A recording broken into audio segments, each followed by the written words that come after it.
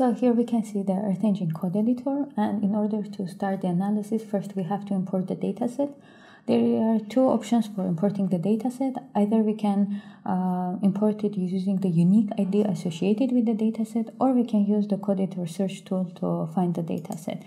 In the search tool, if we put some keywords associated with the dataset such as global uh, human settlement layer,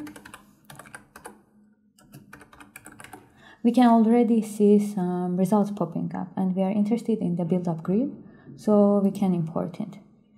But before moving forward let's look at the, some of the properties of the dataset so if you click on the data name you can see the description of the dataset and some associated links uh, if you are interested to read more about it and more importantly information about the resolution bands so we are interested in the multi-temporal build-up presence band and also some class values. So here we can see the values that are higher than 3 represent the build-up area in different epochs. Um, so for the ease of use, let's rename the uh, layer as dataset. Okay, so now we have it. And here we can see the word keyword image uh, next to the dataset. In Earth Engine in general, raster data are represented as Earth Engine image objects.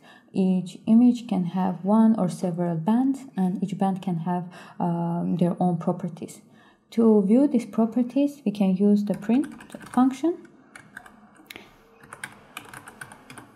And when we click on run button, we can see more information about the dataset, so the unique ID that could be also used for um, importing the data, uh, the band information, and also uh, the specific information for each band. So now let's uh, find the um, uh, and visualize the data representing build-up area.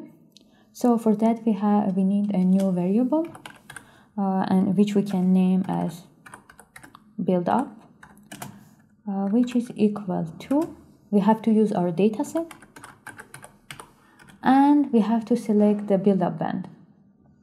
For that we will use select and we put the keyword build Furthermore, we could have stopped here, but in order to uh, select the pixels with the values higher than 3, in order to, uh, to only have visualized the data of the build-up area, we can use the method greater uh, than and equal. And we can use the value of 3. So here we will pick the values which are greater or uh, equal than 3 and what's left left is only mapping so so we will use map uh, add layer.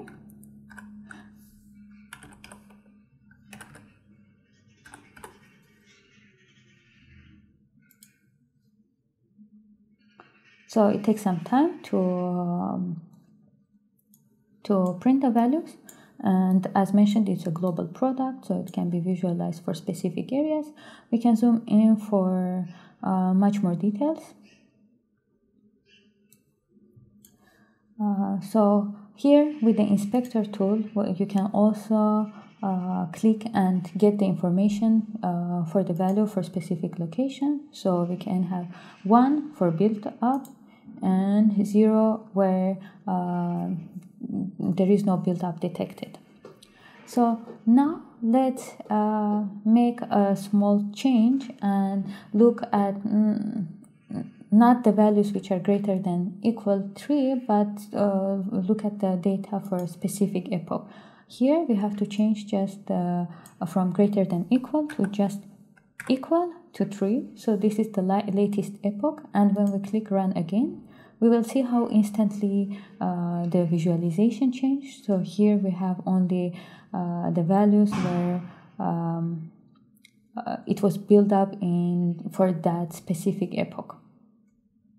So this is all for the first practical and uh, we will move to the next user case now.